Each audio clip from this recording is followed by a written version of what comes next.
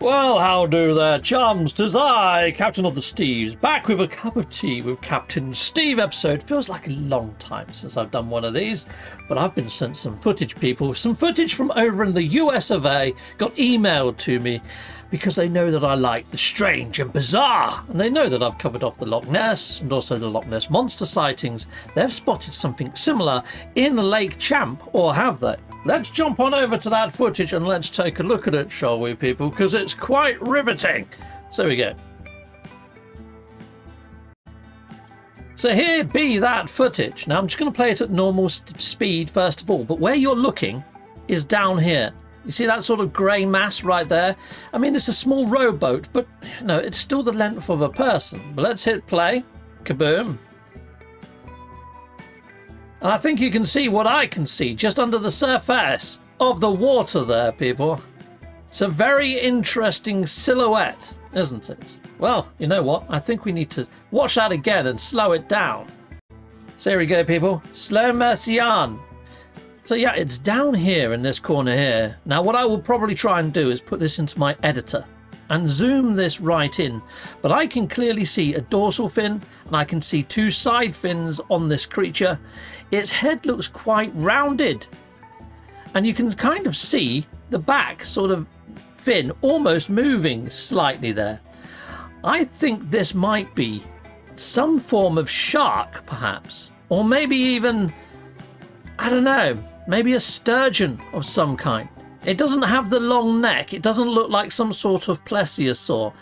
It doesn't look as prehistoric as what um, I feel the Loch Ness Monster is. It, it feels too, I know, shark-like. Just there. I mean, it could be some form of whale, perhaps, but it definitely has that sort of makeup. It looks more fish-like to me than dinosaur-like to me. But nonetheless, it's still a large freaking creature that's inside of Lake Champ. If somebody hooked that and pulled that ashore, I think that would hit headlines. It's not it's something to boast about, definitely. It's something that's out of place and it's it's the size of this whole rowboat. And he's only meters from it, you know. That's a brown trouser moment waiting to happen right there, I think, people. But for them to capture this on drone footage is pretty darn freaking awesome. So chums, what I've done is I've actually paused, zoomed in, gone into Photoshop, changed all the hues, brightness, things like that, and here's some of the cleaned up images that I have of this creature inside of this lake. Now, you know, I'm no creature expert, I'm no zoologist, no cryptozoologist, I'm just an interested party just like any of you. So what I would say to you, has this person managed to capture the lake monster of Lake Champ? Is this something out of place? Could this be a prehistoric entity? Could this be something for cryptozoology experts to take a look at? Let us know in the comments, sound on off.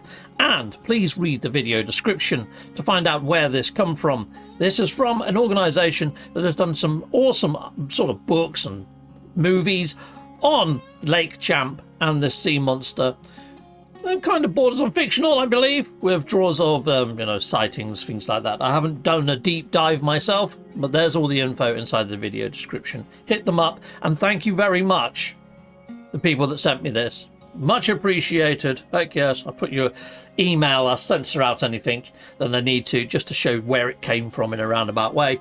But thank you very much for sending me this your way, uh, this my way.